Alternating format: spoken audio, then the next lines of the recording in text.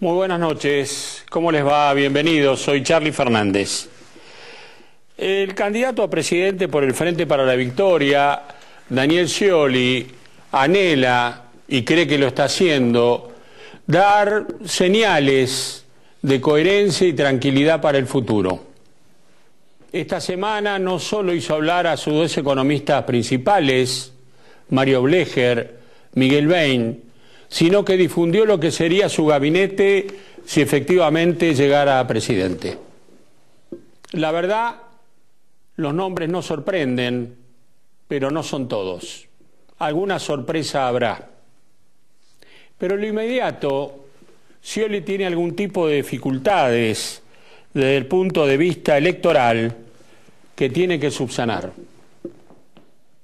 Las últimas encuestas que recibió el actual gobernador de la provincia de Buenos Aires, en su mayoría, lo ubican en el espectro del balotaje. Scioli no ha crecido como debería haber crecido según sus planes desde el punto de vista electoral. Y esto es su primera preocupación, el fantasma del balotaje. Sería, la verdad, poco favorable para Scioli y el oficialismo que hubiera balotaje en la Argentina. Y sin embargo, por ahora el oficialismo no lo ha podido superar electoralmente. ¿Qué hacer entonces? ¿Dónde buscar los votos que Scioli necesita para evitar el balotaje? El primer punto es el propio oficialismo, el peronismo más el kirchnerismo, el kirchnerismo más el peronismo, y en especial la provincia de Buenos Aires. Ahí el oficialismo y Scioli no hicieron una buena elección. Apenas superó el oficialismo el 40% de los votos, cuando Scioli cree que para ganar al menos en primera vuelta, con diferencia de 10 puntos, deberían sacar en la provincia el 48% de los votos.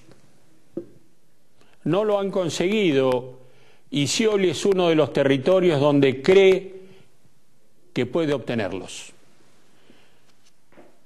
Ahí está también compitiendo con Aníbal Fernández María Eugenia Vidal, que se convirtió en una de las sorpresas favorables en las últimas pasos. ¿Qué hacer? Scioli habló con Fernando Espinosa, el intendente de La Matanza, el presidente del PJ bonaerense, y decidieron hacer la reunión que hicieron el sábado. Tratar de mostrar un peronismo unido, que Espinosa y Julián Domínguez, que perdieron ante Aníbal Fernández, aparecieran juntos en la foto, también intendentes de un lado y del otro. Hay una señal. No asistió Sabatella, el candidato a vicegobernador de Aníbal Fernández, que no es bien visto por los intendentes peronistas. Tampoco asistió la cámpora. ¿Por qué? Misterio. Guado de Pedro, que es el hombre más cercano del gobierno, al peronismo y a Scioli dijo que tenía problemas personales. La cámpora no fue, la cámpora es Aníbal Fernández. La foto que brindó el peronismo y Scioli el sábado en Mar del Plata, ¿refleja la realidad?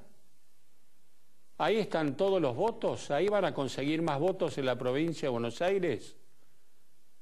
Un interrogante que agita al gobernador.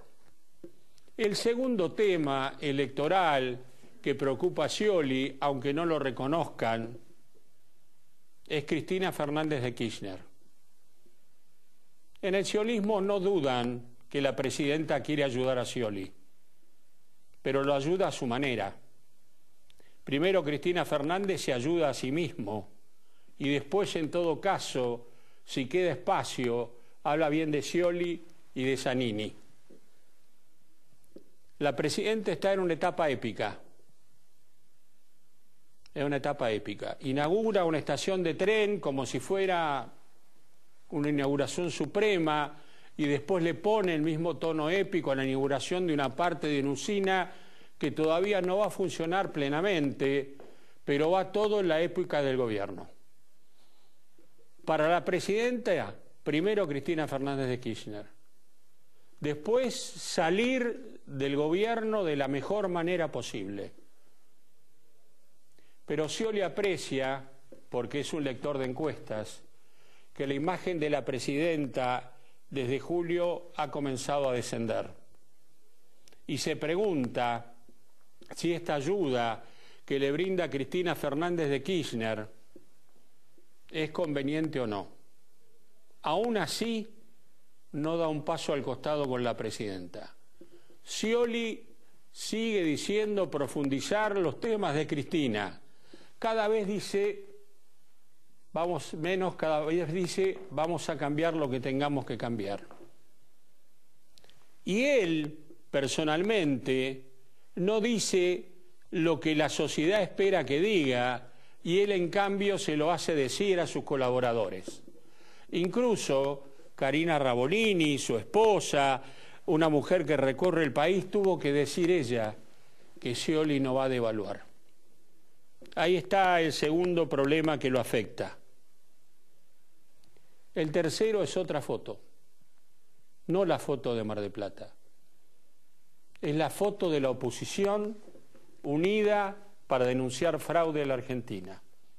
Macri, Massa, Margarita Stolbizer, Ernesto Sanz. Y más lo preocupó que en Jujuy de la Sota apareció al lado de Massa para levantarle las manos a Morales, candidato a gobernador del radicalismo. El fantasma de Balotage por un lado, el fantasma de la oposición uniéndose por el otro, el oficialismo no calculó que la oposición iba a dar este paso. Y si bien van a competir, porque Massa no puede entregar sus intendentes ni sus candidatos a diputados, y Macri tampoco, parecería ser que ya hay acuerdos para el futuro, que podrán ser parlamentarios, políticos, pero que van a influir seguramente en la votación si es que hay balotaje. Scioli ha dado a conocer lo que será su gabinete si gana, ha dado a conocer su política económica media si es que gana, sabe que tiene que ganar.